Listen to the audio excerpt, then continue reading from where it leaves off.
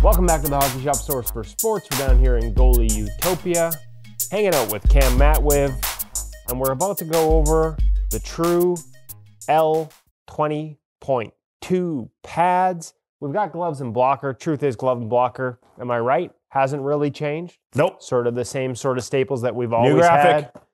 580, 590, 600, same break, same good feel, Correct.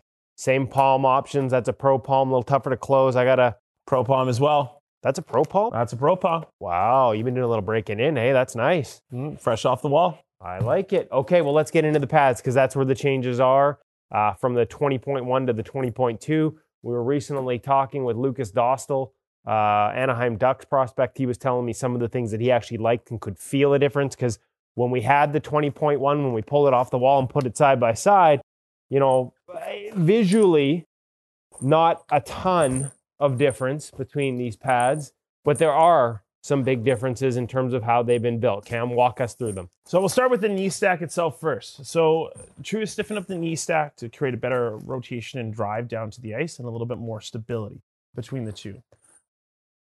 Keeping up with the knee area of the pad, they've also added a one inch nylon strap. Um, what this can do, so the elasticity, the elasticity of an elastic strap inherently has some give to it. When you go with a nylon strap, there's no give to that nylon. So in theory, you're getting a more consistent and solid drive down. I've seen this kind of come about. A few NHL guys have kind of had some of those nylon straps swapped out on their pads and kind of gone consistent with it. Um, Kevin, you've got some actual insight on this a little bit too, as well. Well, I mean, yeah, I mean, I've seen lots of. I mean, this is an old Francois Allaire thing. Um, his guys have had this forever. Um, even when they switch brands and other brands, they've kept it, and it's more about having a fixed endpoint.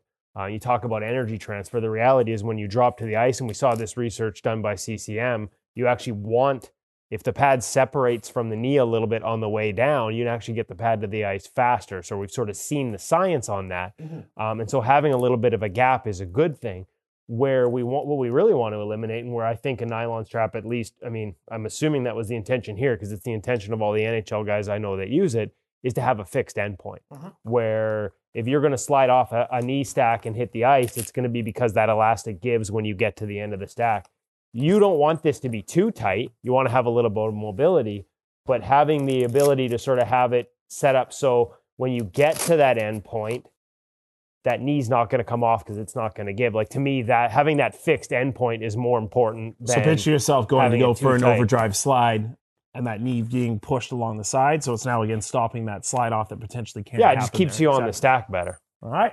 Fixed So- endpoint. Fixed endpoint. Been one Okay. of our favorite theories for a while. So continuing on forward, they have changed the shape of the pad between the two a little bit overall. So if you zoom in on the side a little bit, you can see it's actually just a little bit of a thinner profile uh, on, On the 20 boot? Yes, correct. Um, continuing with the back side of the pad. So True's fast rotation strap has changed with these two and is also different than the 20 point or 12.2 as well. So with the 20.1, the fast rotation strap was segmented and kind of wrapped around a little bit more. Whereas the 20.2, they actually went away from that um, segmentation a little bit and created just a little bit of a flatter system and also added in a little bit of a thicker pillow as well. So this is to help aid the seal of the pad when the pad's actually pushing in the overdrive position as well. Um, in terms of the fast rotation strap, so the 12.2 is a little bit longer in terms of overall fit. the 20.1 is the same, a little bit longer. Actually, with more segmented, so that's where you see it there as well. Um, so again, a little bit shorter, aiding in that connectivity of that shin to that pad as well.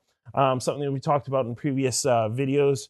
You know, that more connectivity the pad, helping to aid in that rebound as well as making sure that that leg's right up against that shin when you're down in the butterfly. Well, and that's the one part that Lukas Dostal told us that he liked in the 20.2 compared to the 20.1. Just uh, the, the Ducks farm team was up when we were just chatting gear, and he felt like um, he didn't have that connection in 20.1 down sort of through the top of the skate in through the shin, and he felt like it was a lot better in the 20.2. So it sounds like that combination of thinning out that boot, changing that angle up a little bit more, and having a, uh, a fast rotation system that doesn't go as far down into the bottom of the pad is really what accomplishes that for him. Correct, and and you kind of alluded to there, and stole the thunder a little bit. Yes, that new boot shape Um, so this is closer to the 12.2.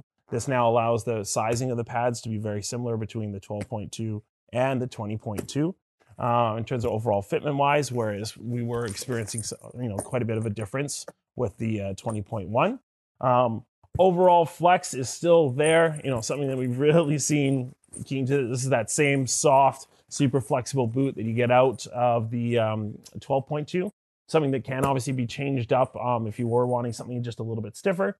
Um, very, very flat. Not really a whole lot of boot channel to this.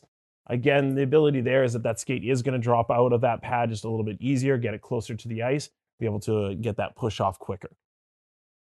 And fitment, so this is closer to 12.2. Is it fit a little, but it looks like a little bit taller, or does that change on based on how it goes on top of the skate with that flat boot? Yeah, it depends a little bit on, on your again boot setup for the overall pad. You know how tight that fast rotation strap ends up being, but the sizing is pretty close between the two.